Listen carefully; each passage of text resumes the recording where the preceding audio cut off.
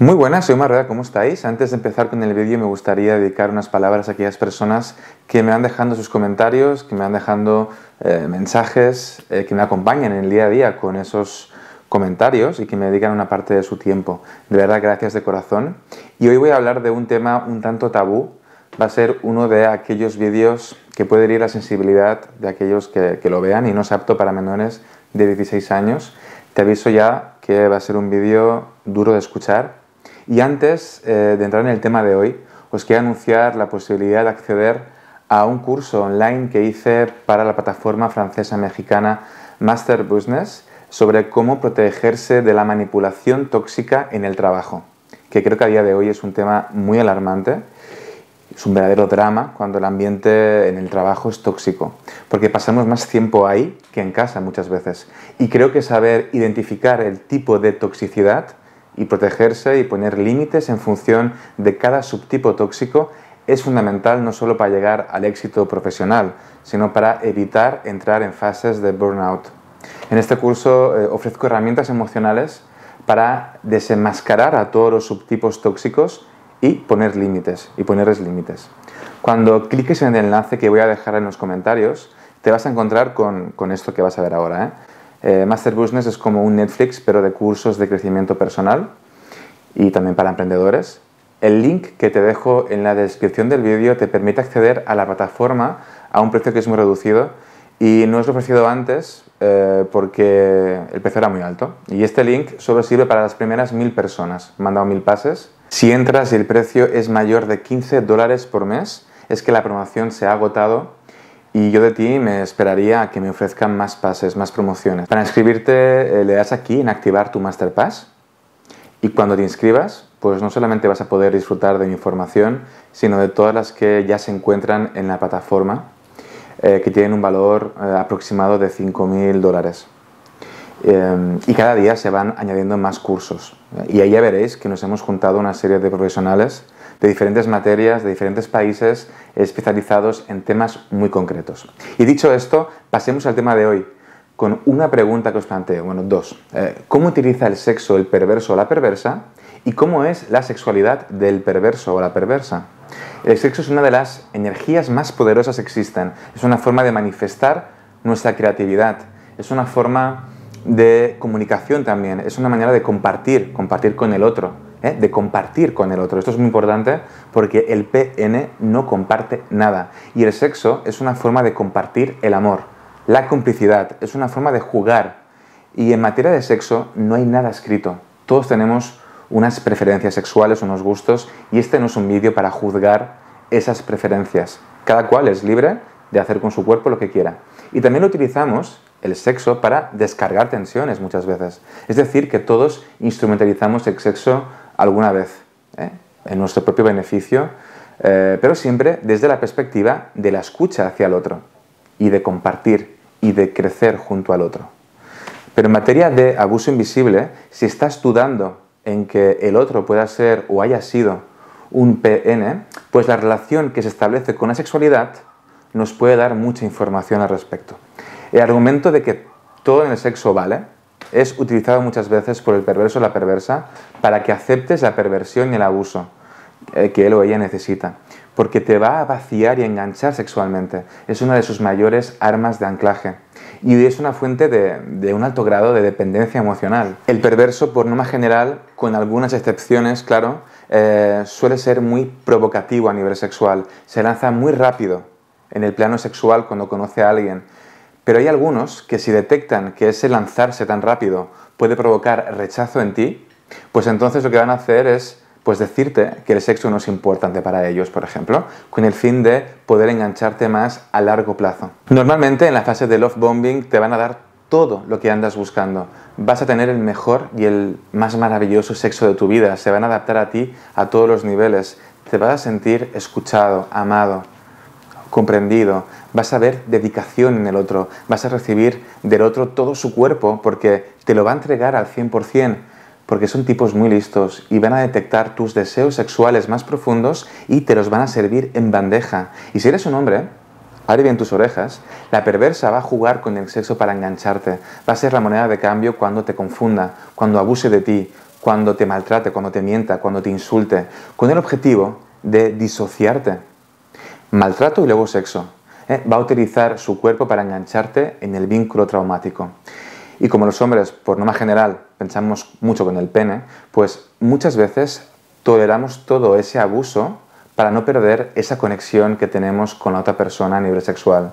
Pero eso también puede pasarte si eres una mujer y el otro es un PN, porque te va a enamorar sexualmente y cuando estés enganchadísima te va a castigar quitándote el sexo. Te lo va a retirar para que entres en un estado de carencia absoluta, para que entres a demandar. Y de esa manera le ofreces el poder absoluto al otro. Pero esa fase de embriagarte con las artes sexuales no dura mucho tiempo, porque el que disfrutes tú en el sexo no es lo que le interesa al perverso o a la perversa. Lo que a él o a ella le interesa es alimentarse de tu sufrimiento. Así que muy rápidamente va a hacer para que no disfrutes de esa experiencia. Pero eso a ti te va a dar igual, ¿eh? porque te acuerdas de las primeras dos noches de ensueño que tuviste y solo quieres volver a sentir esa intensidad que te ofreció el otro y vas a ir detrás del PN para sentir algo, para que te ofrezca su amor, aunque tengas que humillarte en la cama para poder tocarlo. Porque esos van a ser los únicos momentos donde lo vas a sentir. Y ahí está la dependencia afectiva. De hecho, entramos en una fase que yo llamo la del mendigo.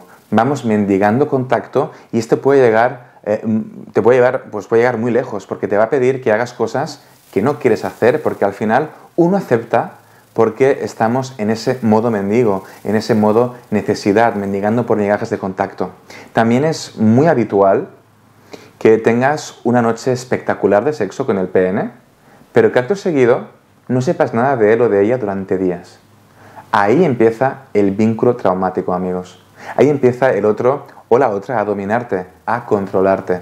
Ese silencio le permite tenerte cuando él quiera y cuando llame, Tú irás, evidentemente. El sexo también es utilizado por el PN para descargar sus vacíos existenciales, para descargar la angustia existencial que despierta diariamente ese vacío.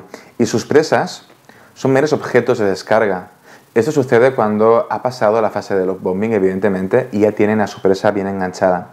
Cuando ha pasado esa fase, el PN eh, se permite mostrar su egocentrismo y solo va a pensar en él. Te va a pedir cosas para que te entregues a su placer exclusivamente. Y si no lo haces, te va a decir que una pareja normal hace eso.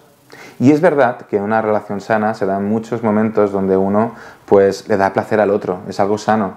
Pero siempre que el otro también te dedique un tiempo a ti y te dé placer. Con el PN esto no va a suceder. ¿Eh? más allá de esas fases iniciales de enganche. Los PN no suelen ser muy creativos y suelen ser rígidos en la cama, pero evidentemente hay muchas excepciones. Esto os debería dar una pista porque el sexo es algo relacional y la creatividad y el juego deberían formar parte del acto. Cuando dos personas empiezan a comunicarse sexualmente para darse placer mutuamente desde ese juego, desde ese nivel de complicidad único. Pues con el PN puedes estar seis horas en la cama, pero sin jugar. La única forma de juego sexual que ellos conocen, básicamente, es la dominación del otro y su humillación. A eso sí que suelen jugar, porque van a utilizar el sexo como otra forma de dominancia y como otra forma de control sobre su presa. Porque la sexualidad del perverso es perversa y no te va a dejar descubrir nada, no te va a dejar proponer nada, porque te va a imponer su sexualidad su método y su delirio. Y no va a ser un proceso basado en el respeto ni en la escucha o en el descubrimiento mutuo, sino que va a ser un proceso basado básicamente en el maltrato. Y es muy habitual que el PN te empiece a reprochar tu sexualidad, a castrarte sexualmente criticando tu manera de hacer, porque él o ella quiere que se haga a su manera. Y para ellos el sexo es una fuente de combustible brutal y no se cansan, no se agotan, porque su ansiedad es infinita. Pueden estar horas y horas sacando tu energía de esa manera.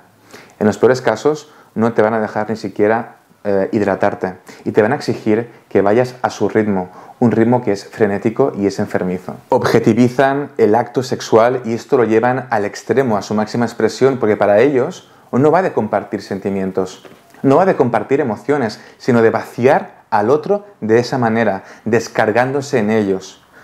Por eso es muy habitual también que la agresividad esté presente en el acto sexual. ¿Eso significa que el sexo duro sea malo? No, todo depende de ti, de si te gusta. Pero ¿te has planteado realmente si te gusta el sexo duro? Porque en materia de abuso invisible, uno se acaba creyendo o convenciendo de que lo que le gusta es lo que el otro le propone, aunque no sea verdad. Solo para poder seguir junto con esa persona, para no perderla. Porque una cosa es que dos personas entren en pasión, en desenfreno y ahí se dejen llevar un poco eh, sin juzgar al otro.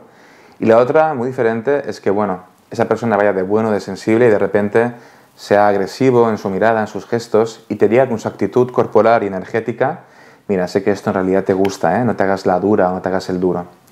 Esto es una forma de gaslighting que confunde y te invita a disociar. Cuando entres en esta confusión, el nivel de sadismo será gradual e irá increciendo.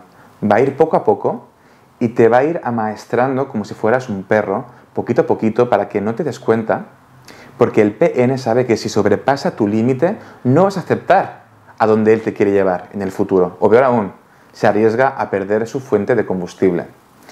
Y este punto es muy importante y es muy serio, porque muchas personas que han pasado por una relación con un perverso o una perversa, aunque no lo quieran aceptar porque es muy duro asumirlo, han sufrido abusos sexuales serios, unos abusos que luego son tapados por la culpabilidad, por la amnesia selectiva, por la vergüenza tóxica.